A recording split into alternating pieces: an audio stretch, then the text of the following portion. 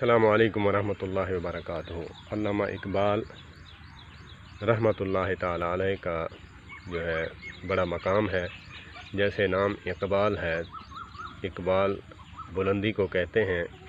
तो जैसे कहते हैं, मुहावरा है कि इकबाल बुलंद होवी मर्तबा तेरा बुलंद हो। तो जैसे उनका नाम इकबाल है तो उनका कलाम भी जो है बुलंद था।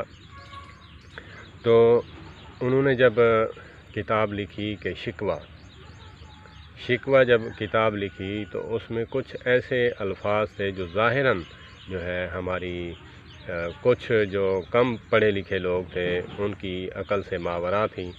तो उन्होंने जो है कराम को भी शामिल किया।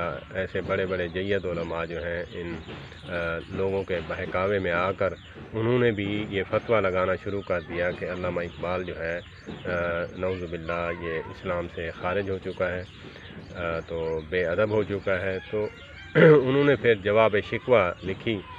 तो फिर जब पढ़ा तो आज तक देख लें क़्यामत तक बल्कि जो है उनका जो है कलाम पढ़ा जाएगा और लिखा जाएगा।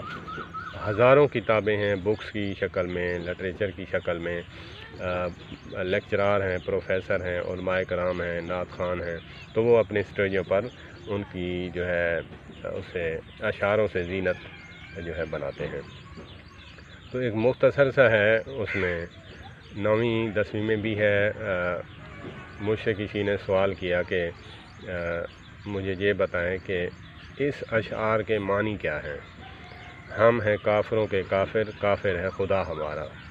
तो मैंने, पहले तो मैं चौंक उठा, मैंने कहा ये तो कलाम ऐसा है कि ज़ाहिरन तो इसमें जो है बड़ा कुछ नज़र आ रहा है। तो फिर जब मैंने आलम दीन से इसका मायना पूछा तो कहा कि बहुत अच्छा किया तुमने कराम से पूछना चाहिए। तो मैंने पूछा, उन्होंने कहा कि उन्होंने अरबी जो है लैंग्वेज इस्तेमाल करते हुए काफिर कहते हैं, इनकार करने वाले को, ना मानने वाले को। तो जब जब उन्होंने ये कहा कि हम हैं काफरों के काफिर, हम भी इनकारी हैं उन काफरों के तो काफिर है खुदा हमारा। और खुदा हमारा भी नहीं मानता इन काफरों को, जब तक कि इस्लाम ना लाएँ। आखिरी नबी मोहम्मद करीम सल्लल्लाहु तबारक वाली वसल्लम की ज़ात अकदस पर।